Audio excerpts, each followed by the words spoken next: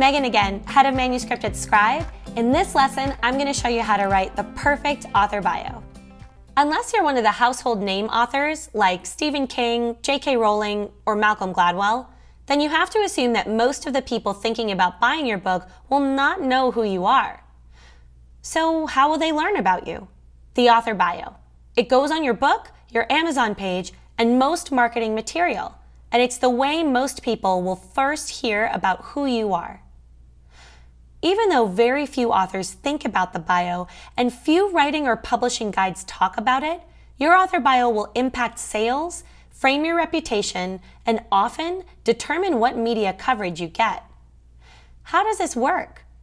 Author authority is consistently cited as one of the main factors that influence book buying. If you can establish yourself as an authority on your book topic, readers will be much more inclined to buy your book, read it, and regard you the way you want them to. People considering spending their disposable income on your book are looking for a reason to do it or not, and a great bio helps them do it, while a bad bio often will stop them. Furthermore, if you're like most authors and want your book to help create more business for you or establish your credibility or authority on a subject, often the author bio is more important than what's actually in the book. How could this be? The sad but true reality is that more people will read your author bio than your actual book. It takes a long time to read a book, but it's very easy to make a snap judgment based on a short paragraph, and most people do just that. This is doubly true for media. Most people in media work very hard under tight deadlines. They don't have time to read long books or long meandering pitch emails. But a good author bio cuts right to the point by telling them, this is a person who is important and I need to pay attention. How to craft your author bio. Writing about yourself as an author is typically a task that most writers shy away from, but writing an effective author bio doesn't have to be so painful. In fact, with a few simple steps, you can have an effective bio that will help sell your book. Less is usually more when it comes to author bios, and you want to make sure you do and don't do the following. Number one, demonstrate your authority and credentials on the subject of your book, but don't overstate them. Number two, include things that build credibility or are interesting without going overboard. Number three, mention your website and any books you've previously written, but don't oversell them. Number four, use relevant names if they're appropriate without name dropping. And number five, keep it short and interesting without leaving anything important out. Do you notice a pattern here? Good author bios walk a line. They avoid being boring and uninspiring, and they avoid being ridiculously over promotional and arrogant. Now we'll break each category down and then give you some examples. Number one, demonstrate your authority and credentials on your book subject but don't overstate them. Whatever your book is about, it's important that you establish your credentials in that area. For example, if you're writing a diet book, mention any sort of professional degrees or training, your own weight loss success, or other things that clearly signal your authority and credibility on weight loss. If you struggle with what to say about yourself, remember that you want to make clear why you're credible and professional, as opposed to an unknown, untrusted source. As in, why should the reader listen to you? For some types of books and authors, this is harder to do. If there's no clear way to signal direct authority or credentials, for example, a novel or a book of your life stories, then don't make up things or try to invent authority. Focus on the other parts of the author bio. Number two, include things that build credibility or are interesting to the reader without going overboard. In your author bio, you'll want to include some things you've accomplished in your life, especially if you don't have direct credentials and authority in the book's subject matter. This will help your audience understand why they should spend their time and money reading what you've got to say. If you have something about you or your life that is unusual, even if it's not totally relevant, you should still consider putting it in your bio. For example, if you were a Rhodes Scholar, or you started a major national organization, or won a national championship in ping pong, whatever. The point is to show the reader that you've done things that matter, that you're an effective person, even if those things don't matter specifically to this book. If you're lacking credentials or exciting accomplishments, you can always put in your passions and interests. Anything that you enjoy doing, writing about, or consider a hobby, especially if it is relevant to the book topic. That being said, do not ramble on and on about things that the reader doesn't care about.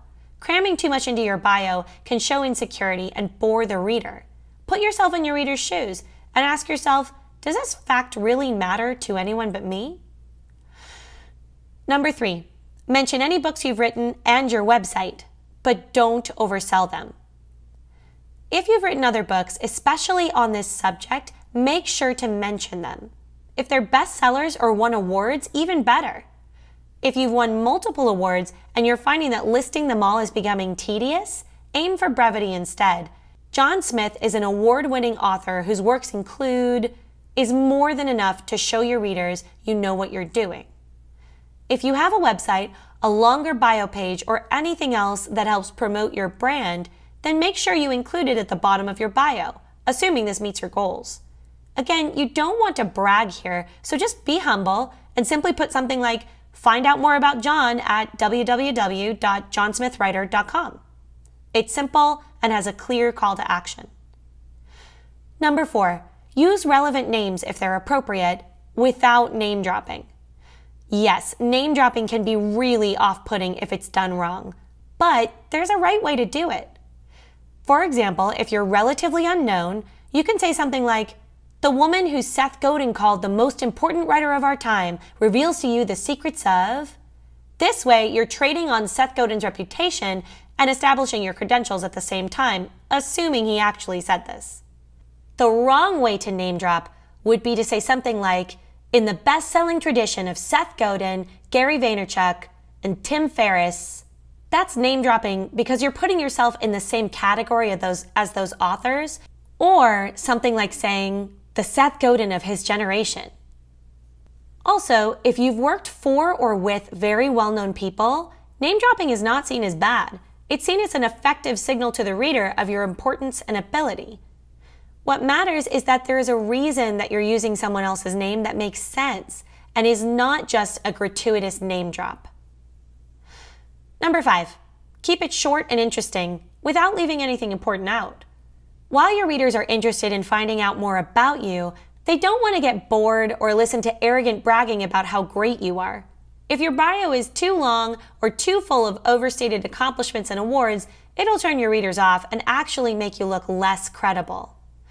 Typically, if you keep your bio under 250 words, you're going to be okay. Anything longer than that means you've gone on too long about your accomplishments, your personal life, or both. Cut it down to the most important things. Remember, your bio grows as you grow. Treat your bio as a living document. Just because you've written it once does not mean it's finished. As you grow and change, so too should your bio. Also remember that if you're writing for different genres or different topics, that some of your accomplishments and past works will be more relevant to your readers than others.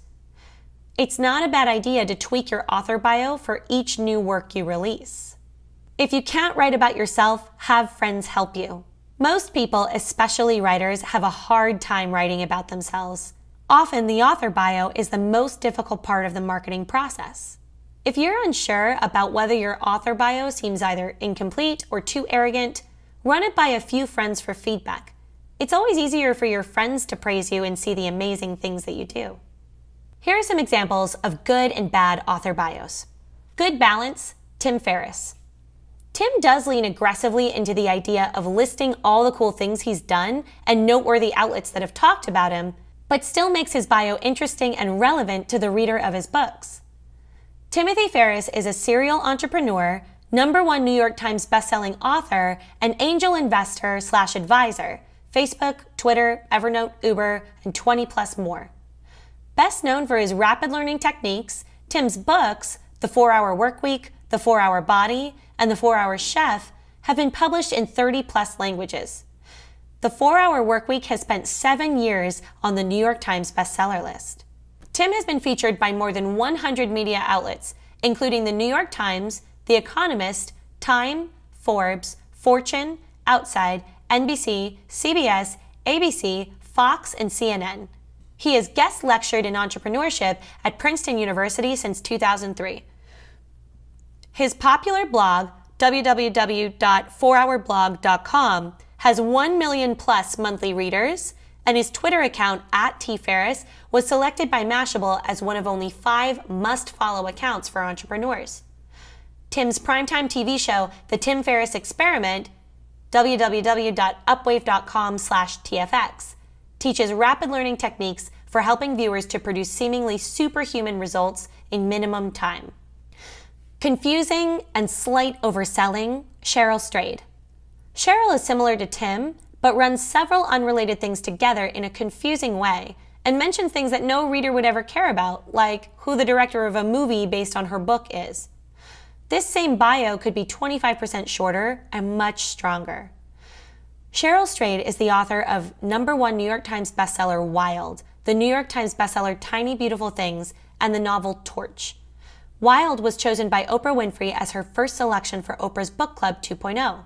Wild won a Barnes & Noble Discover Award, an Indie Choice Award, an Oregon Book Award, a Pacific Northwest Booksellers Award, and a Midwest Booksellers Choice Award, among others.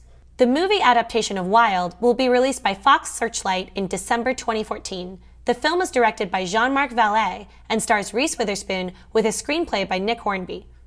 Strayed's writing has appeared in the Best American Essays, the New York Times Magazine, the Washington Post Magazine, Vogue, Salon, the Missouri Review, The Sun, Tin House, The Rumpus, where she wrote the popular Dear Sugar advice column, and elsewhere.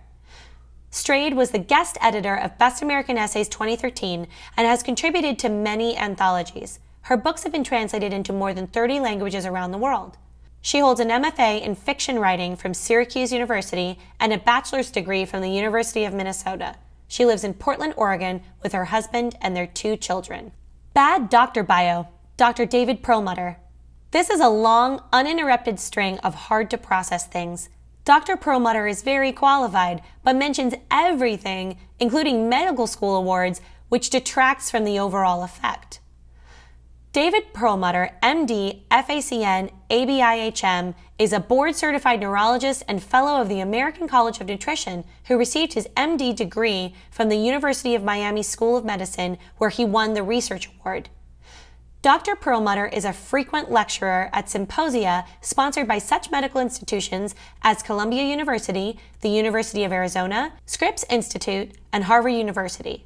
He has contributed extensively to the world medical literature with publications appearing in the Journal of Neurosurgery, the Southern Medical Journal, Journal of Applied Nutrition, and Archives of Neurology.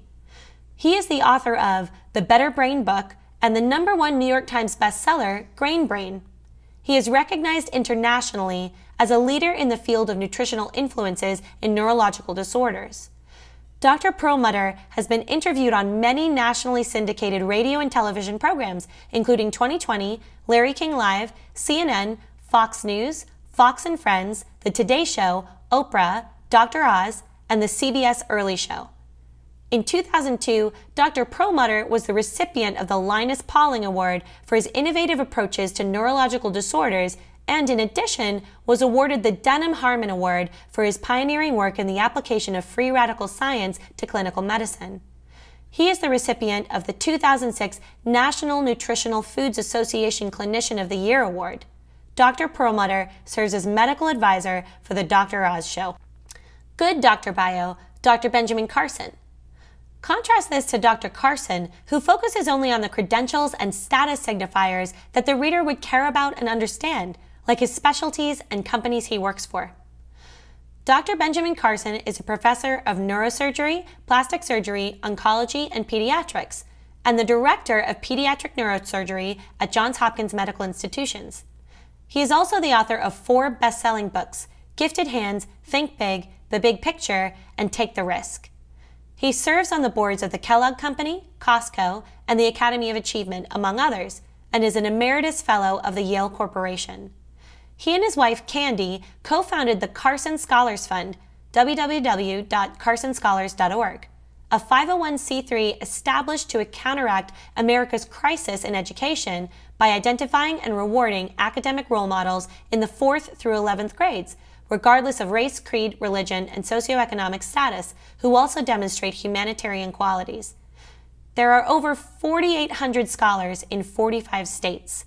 Ben and Candy are the parents of three grown sons and reside in Baltimore County, Maryland. High status and short, Lynn Vincent. This bio is the perfect less is more for an author with a lot of credentials. When you've done what Lynn has done, you can just say it quickly and succinctly. Lynn Vincent is the New York Times bestselling writer of Heaven is for Real and Same Kind of Difference as Me. The author or co author of 10 books, Lynn has sold 12 million copies since 2006. She worked for 11 years as a writer and editor at the national news biweekly World magazine and is a U.S. Navy veteran. High status but undersells, Michael Lewis. Contrast this to Michael Lewis, who is a very well known author, but still leaves quite a bit out of his bio that would help many readers understand who he is and why they should care. Even Michael Lewis is not famous enough to assume that people know him. Michael Lewis, the author of Boomerang, Liar's Poker, The New New Thing, Moneyball, The Blind Side, Panic, Home Game, and The Big Short, among other works, lives in Berkeley, California, with his wife, Tabitha Soren, and their three children. Bad Amanda Ripley. Many authors have different bios on different books because they leave the bio writing to their publisher, which is a huge mistake. You can see the difference in the author Amanda Ripley. Her bad bio is strangely both boring and overselling. Amanda Ripley is a literary journalist whose stories on human behavior and public policy have appeared in Time, The Atlantic, and Slate, and helped Time win two National Magazine Awards. To discuss her work, she has appeared on ABC, NBC, CNN, Fox News, and NPR. Ripley's first book, The Unthinkable, was published in 15 countries and turned into a PBS documentary. Good Amanda Ripley. Contrast that to this good bio, where she comes off as much more of an authority, mainly because her other books are mentioned, as were her awards. Amanda Ripley is an investigative journalist for Time, The Atlantic, and other magazines. She is the author most recently of The Smartest Kids in the World and How They Got That Way. Her first book, The Unthinkable Who Survives When Disaster Strikes and Why, was published in 15 countries and turned into a PBS documentary. Her work has helped Time win two National Magazine Awards. Good first person bio, Charles Duhigg. Personally, I don't think first person bios work well, but some authors like them, as do some readers. The only place they feel appropriate to me is as about pages of websites. But of the first person bios I've seen, this is the best. My name is Charles Duhigg, and I'm a reporter for the New York Times. I'm also the author of The Power of Habit, about the science of habit formation in our lives, companies, and societies. I've worked at the Times since 2006. Last year, I was part of the team that won the Pulitzer Prize for a series about Apple named The I Economy. And before that, I contributed to other series, including Golden Opportunities, which received the George Polk Award, the Sidney Hillman Award, and a Deadline Award, The Reckoning, which won the Loeb and was a finalist for the Pulitzer Prize, and Toxic Waters, which received the Scripps Howard National Journalism Award, the Investigative Reporters and Editors Medal, the National Academy's Reporting Award, and others. I'm a native of New Mexico and I studied history at Yale and received an MBA from Harvard Business School. Before becoming a journalist, I worked in private equity and, for one terrifying day, was a bike messenger in San Francisco. I have appeared on This American Life, The Colbert Report, NPR, The NewsHour with Jim Lehrer, and Frontline. If you would like to contact me, I would love to hear from you. I'm at charles at charlesduhigg.com. Overselling, Rebecca Skloot. This is such unnecessary overselling. Rebecca Skloot wrote a major bestseller, the Immortal Life of Henrietta Lacks. But she mentions all sorts of nonsense in this bio that no reader will care about. You get the doth protest too much vibe from this one. Compare this to Tim Ferriss, who also lists a lot, but does so quickly and gets it out of the way. Rebecca Skloot is an award winning science writer whose articles have appeared in the New York Times Magazine, O, the Oprah Magazine, Discover, and others. She has worked as a correspondent for NPR's Radio Lab and PBS's Nova Science Now, and is a contributing editor at Popular Science magazine and guest editor of the Best American Science Writing 2011. She is a former vice president of the National Book Critics Circle and has taught creative nonfiction and science journalism at the University of Memphis, the University of Pittsburgh, and New York University. Her debut book, The Immortal Life of Henrietta Lacks, took more than 10 years to research and write and became an instant New York Times bestseller. She has been featured on numerous television shows, including CBS Sunday Morning and The Colbert Report. Her book has received widespread critical acclaim, with reviews appearing in The New Yorker, Washington Post, Science, Entertainment Weekly, People, and many others. It won the Chicago Tribune Heartland Prize and Wellcome Trust Book Prize, and was named the Best Book of 2010 by Amazon.com and a Best Book of the Year by Entertainment Weekly. Oh, the Oprah Magazine, the New York Times, Washington Post, U.S. News and World Report, and numerous others. Ridiculous overselling, Dinesh D'Souza. We'll end with one of the worst bios I've ever seen. This is a real bio pulled off the Amazon page of his recent book. It is over 500 words of preposterously insecure and arrogant crap. I can't imagine reading this bio and not respecting the author less afterwards. Dinesh D'Souza has had a 25 year career as a writer, scholar, and public intellectual. A former policy analyst in the Reagan White House, D'Souza also served as John M. Olin Fellow at the American Enterprise Institute and the Robert and Karen Rishwain Fellow at the Hoover Institution at Stanford University. He served as the president of the King's College in New York City from 2010 to 2012. Called one of the top young public policy makers in the country by Investors Business Daily, D'Souza quickly became known as a major influencer on public policy through his writings. His first book, Illiberal Education, in 1991, published the phenomenon of political correctness in America's colleges and universities and became a New York Times bestseller for 15 weeks. It has been listed as one of the most influential books of the 1990s. In 1995, D'Souza published The End of Racism, which became one of the most controversial books of the time and another national bestseller. His 1997 book, Ronald Reagan, How an Ordinary his 1997 book, Ronald Reagan How an Ordinary Man Became an Extraordinary Leader, was the first book to make the case for Reagan's intellectual and political importance. D'Souza's The Virtue of Prosperity in 2000 explored the social and moral implications of wealth. In 2002, D'Souza published his New York Times bestseller, What's So Great About America, which was critically acclaimed for its thoughtful patriotism. His 2003 book, Letters to a Young Conservative, has become a handbook for a new generation of young conservatives inspired by D'Souza's style and ideas. The Enemy at Home, published in 2006, stirred up a furious debate both on the left and the right. It became a national bestseller and was published in paperback in 2008 with a new afterword by the author responding to his critics. Just as in his early years, D'Souza was one of the nation's most articulate spokesmen for a reasoned and thoughtful conservatism, in recent years he has been an equally brilliant and forceful defender of Christianity. What's so great about Christianity not only intelligently explained the core doctrines of the Christian faith, it also explained how the freedom and prosperity associated with Western civilization rest upon the foundation of biblical Christianity. Life After Death, The Evidence, shows why the atheist critique of immortality is irrational and draws the striking conclusion that it is reasonable to believe in life after death. In 2010, D'Souza wrote The Roots of Obama's Rage, which was described as the most influential political book of the year and proved to be yet another bestseller. In 2012, D'Souza published two books, God Forsaken and Obama's America, Unmaking the American Dream, the latter climbing to number one on the New York Times bestseller list and inspiring a documentary on the same topic. The film, called 2016 Obama's America, has risen to the second highest all time political documentary, passing Michael Moore's Sicko and Al Gore's An Inconvenient Truth.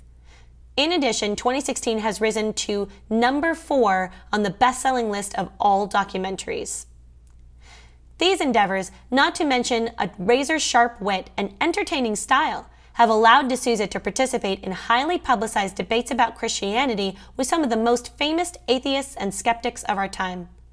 Born in Mumbai, India, D'Souza came to the U.S. as an exchange student and graduated Phi Beta Kappa from Dartmouth College in 1983. D'Souza has been named one of America's most influential conservative thinkers by the New York Times Magazine. The World Affairs Council lists him as one of the nation's 500 leading authorities on international issues, and Newsweek cited him as one of the country's most prominent Asian Americans. D'Souza's articles have appeared in virtually every major magazine and newspaper, including the New York Times, Wall Street Journal, The Atlantic Monthly, Vanity Fair, New Republic, and National Review. He has appeared on numerous television programs, including The Today Show, Nightline, The NewsHour on PBS, The O'Reilly Factor, Moneyline, Hannity, Bill Maher, NPR's All Things Considered, CNBC's Kudlow Report, Lou Dobbs Tonight, and Real Time with Bill Maher. Craft your author bio.